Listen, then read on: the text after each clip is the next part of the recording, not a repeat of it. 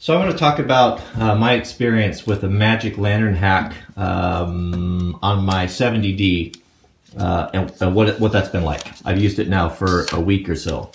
Uh, it's a game changer in many different ways. What it's what it's done is it's it's changed this camera into one that was very frustrating to use into one that is very delightful to use and and I always know where I'm at. And I so what is the Magic Lantern? Magic Lantern is a, an organization uh, which has done some amazing things. They've hacked the firmware for the, basically the operating system of the camera and giving given us uh, YouTube creators or video creators who are using DSLRs um, the features in the camera that would be things you would find uh, on more professional movie grade equipment.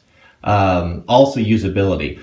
Now, I can't even begin to go into explore all of the different possibilities uh, of this firmware. Much of it I don't understand, but there's a few things that I do understand that has changed my life and made this camera what was very frustrating into something that was very delightful. So once you go on the site and download the firmware, you save it to an SD card, you put it inside the camera, you do a reboot, you go over here to your menu. It's very simple.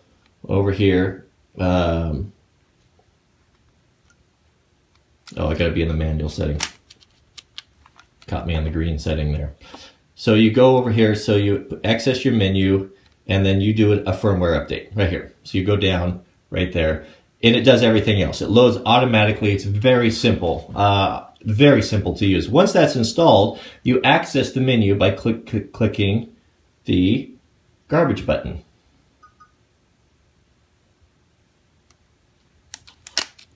Try this again.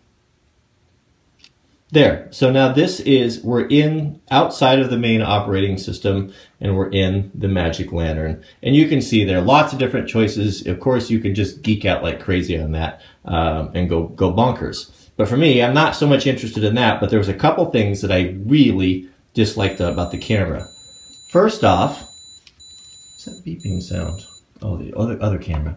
First off, was not having the ability to have to know if you're recording. See those recording bars up there? Those don't come, believe it or not, on the factory firmware setting.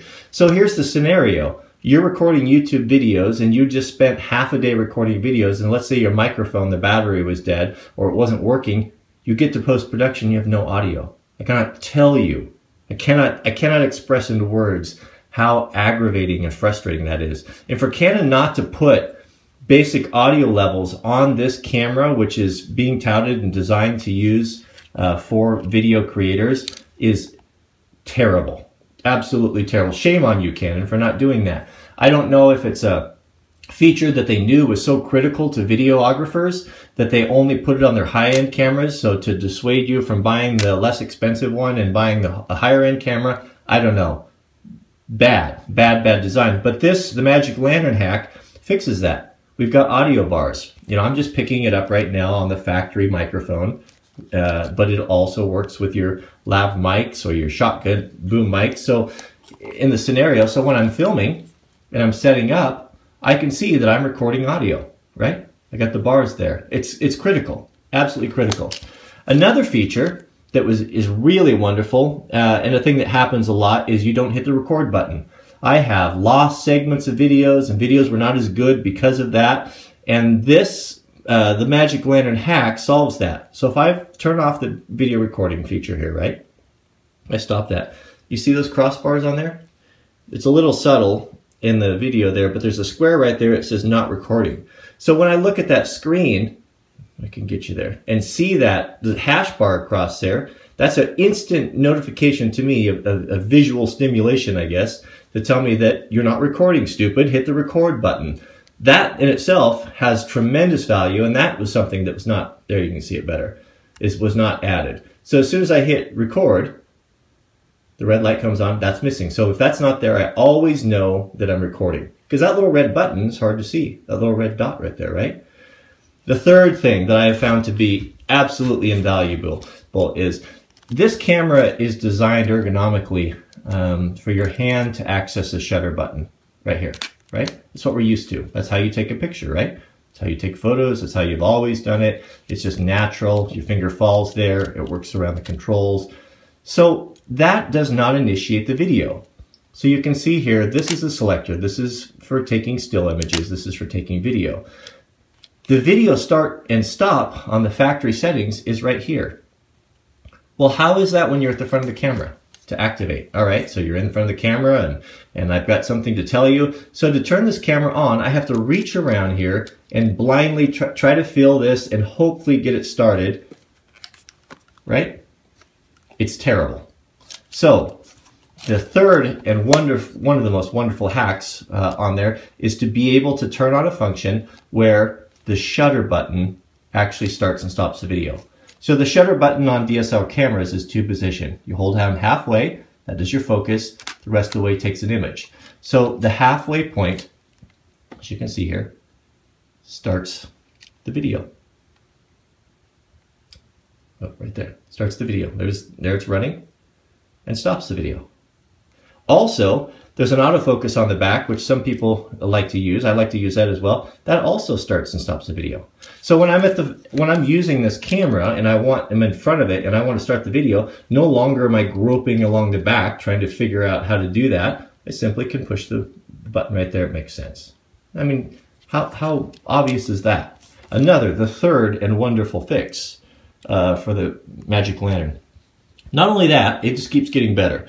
I'm, I'm only going to talk about the things that, that work for me. I, there may be more things in this hack that I haven't yet under, explored, but this stuff is fantastic. So right here on a readout, simple things. Right there, I've got a battery percentage. It tells me, excuse me, tells me how long my battery's going to last, what percentage there. So if I'm setting up a long shot, there's no guesswork. Is my battery going to die in the middle of this, which happens all the time? You have no idea where the battery's at unless you look in this tiny little window, which is hard to see, and especially when it's light outside. So to have that there all the time, I know that I've got enough juice or enough power to finish the shot. I've also got what's left on my SD card. Right there, if I stop that video, it tells me right there, I've got 118 gig left on that card. So I can, at a glance, look at this take this outside or down the forest and know I've got plenty of memory. You know, I didn't forget to format the card. How many times have I gotten out on location or away from my computer and to fill up a card and not have a spare one and then have to drive back, unload the unwanted footage, hopefully not losing the footage I've already taken. I mean, just, just incredible. Not only that, but it gives me a movie count of how many individual shots that I've taken, how many individual videos. I've got uh, my white balance. These things here, my f-stop, are not so important to me at the time. Not that they might not, whether I'm in manual focus or automatic focus uh, is on there. But the key things for me, this is one of the, this here, the audio bars. I'm recording. This hack, hack section right here telling me you are not recording. You know, I need, I need to start the camera. I'm not going to waste my time and miss shots. To have the battery, to have how much left in the memory is things that, that Canon should have put on this camera from the factory. And maybe they will. Uh, what I would like to see, it would be nice if they would collaborate with Magic Lantern. Let's take some of these things that, let's make cameras for, for people who use them. Let's, let's listen to pe people out there that are actually hands-on and making their living with cameras like this and, and add those features in from the factory. But hats off to Magic Lantern for this. You guys have, whoever you are, you've changed my life for the better and you've made uh, turn this into a tool that is so usable and so much better. It helps me creatively. It helps me not to make mistakes. And it just makes my life happier. Oh, just, just love it. Love it, love it. All right, well, that pretty much covers my Magic Lantern hacks. And we'll see you guys in the next video. For a walk around lens, I think is it has been fine. I wished it was a little bit wider, but that's what it is. But the most important thing is that this is Canon's latest 2470. It's a